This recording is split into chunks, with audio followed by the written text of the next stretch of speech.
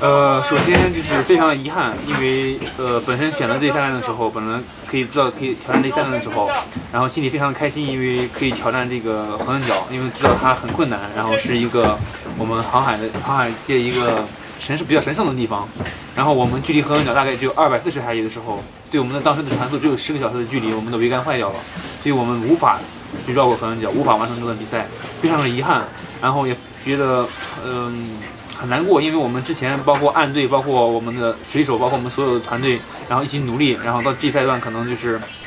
呃，这赛段可能就白费了，然后，对，非常遗憾。